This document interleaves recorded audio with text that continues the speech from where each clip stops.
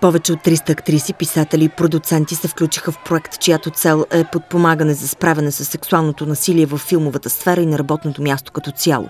Звездите обявиха началото на инициативата, като купиха цяла страница от вестник Нью Йорк Таймс.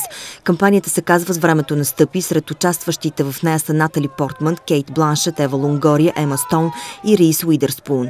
Акцията е описана като покана за промяна за жените в резултат на десетките обвинения в сексуален турмоз, които започнаха след разкритията срещу филмовия продуцент Харви Лайнстин.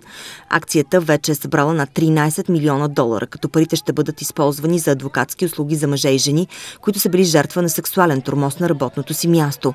Приоритет ще имат пострадалите, които не могат да си позволят адвокат, който да ги защитава.